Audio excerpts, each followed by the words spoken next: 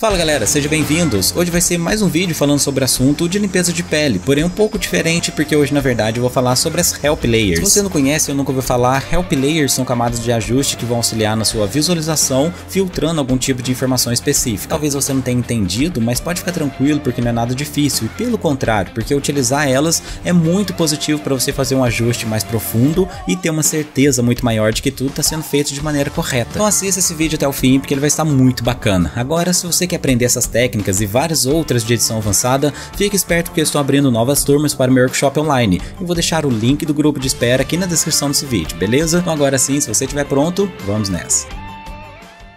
Aqui para começar, vamos supor então que eu preciso fazer uma limpeza de pele nessa fotografia, porém nesse momento eu estou observando muita informação de texturas e cores todas somadas, e isso acaba confundindo os olhos. E como o ajuste vai ser somente de limpeza de pele, então as cores acabam sendo uma informação completamente desnecessária. Essa é a base do pensamento das Help Layers, e para transmitir isso aqui no Photoshop existem várias maneiras, e eu vou mostrar que eu mais utilizo. Então primeiro eu preciso retirar as cores, existem no mínimo 5 formas fáceis de fazer isso, mas de maneira bem simples eu posso fazer criando um Hue Saturation, e adicionando menos 100 em Saturation. Nesse momento, essa simples ferramenta se transforma em uma Help Layer, ou seja, ela está me ajudando a observar a imagem e filtrando uma informação desnecessária. Perfeito, isso já ajuda e facilita para enxergar todas as manchas, porém eu ainda consigo melhorar isso criando uma outra ferramenta que vai trabalhar somente com contrastes, ou seja, um simples Curves. Nesse Curves eu vou adicionar o Blend Mode Overlay para gerar o contraste naturalmente e controlar a potência das luzes e sombras criando um S diretamente aqui na ferramenta. Talvez nesse caso tenha ficado muito claro, então poderei descer um pouco as luzes, pesar um pouco mais a mão aqui nas sombras. Dessa maneira eu vou conseguir controlar as informações que eu vou enxergar e fazer um ajuste muito mais pontual, muito mais localizado por toda a imagem. A partir de agora fica à sua disposição para encontrar a técnica de limpeza de pele preferida